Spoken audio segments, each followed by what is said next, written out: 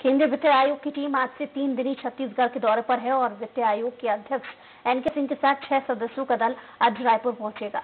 अपने तीन दिनी दौरे के दौरान ये दल सीएम और वरिष्ठ अधिकारियों के साथ बैठक करेगी और साथ ही राज्य सरकार की योजनाओं की जानकारी लेने फ़ील्ड में भी जाएगा।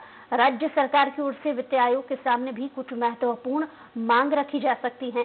सरकार अपने सबसे महत्वाकांक्षी प्रोजेक्ट, नरवा गुरवा घुरवा बाड़ी के लिए बाईस हज़ार करोड़ से ज़्यादा की राशि मांग कर वित्त आयोग से कर रहा है और इस प्रोजेक्ट को मनरेगा से जोड़ने का प्रस्ताव भी सरकार वित्त आयोग के सामने रख सकती है।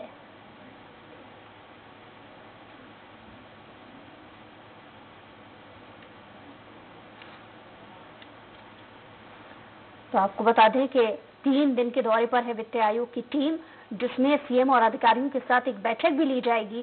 फ़ील्ड में जाकर सरकार की योजनाओं का किस तरीके से क्रियान्वयन हो रहा है, किस तरीके से योजनाएँ चालू हैं, या उनका ठीक तरीके से लाभ लोगों को मिल भी पा रहा है या नहीं, ये सभी बातों पर ध्यान ये टीम देगी।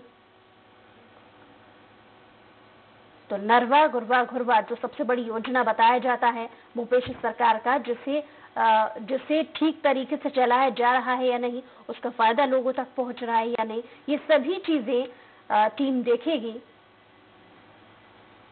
बाईस हज़ार करोड़ की मांग भी कर सकती है सरकार। तीन दिन के दौरे पर वित्त आयोग की टीम है। लिहाजा इन तीन दिनों के भीतर ही योजनाओं का क्रियान्वयन ठीक से हो रहा है। इन पर ध्यान दिया जाएगा। इसके अलावा एक विशेष बैठक भी होगी। और साथ ही सरकार में जो योजनाएँ चला रही हैं, उनके लिए कितना पैसा आना चाहिए या कितनी मांग की जानी चाहिए, इस पर भी मंथन होगा।